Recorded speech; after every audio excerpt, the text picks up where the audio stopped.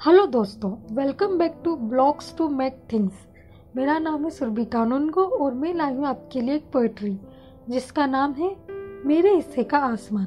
मेरे हिस्से का आसमान, बस इतना ही तो चाहती हूँ मैं। मेरे हिस्से का आसमान, बस इतना ही तो चाहती हूँ मैं। अपनी पैदाइश पर अफसोस नहीं, अपनी पैदाइश पर अफसोस नहीं।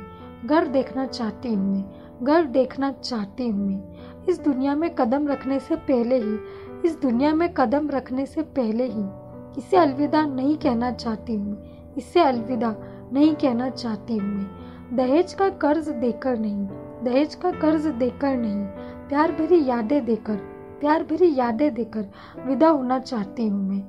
पराया धन नहीं, पराया धन नहीं, अपना ही धन कहलाना चाहती हूँ मैं, अपना ही धन कहलाना चाहती हूँ मैं। दुनिया से डरकर अपने ही घर में, दुनिया से डरकर अपने ही घर में। कैद नहीं होना चाहती हूँ कैद नहीं होना चाहती हूँ मैं। बेड़ियों में बंद कर नहीं, बेड़ियों में बंद कर नहीं। खुले आसमान में उड़ना चाहती हूँ खुले आसमान में उड़ना चाहती हूँ। परंपराओं को बेशक, परंपराओं को बेशक दिल से निभाना चाहती हूँ मैं। पर रूढ़ियों को अपनाना नहीं चाहती हूँ पर रूढ़ियों को अपनाना नहीं चाहती हूँ मैं।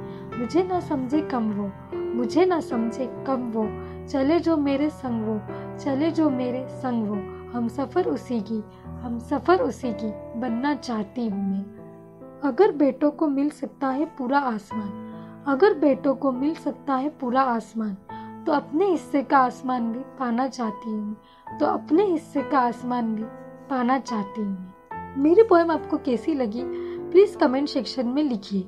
और हमारे चैनल्स को सब्सक्राइब कीजिए और नोटिफिकेशंस के लिए बेल आइकन को दबाइए। Thank you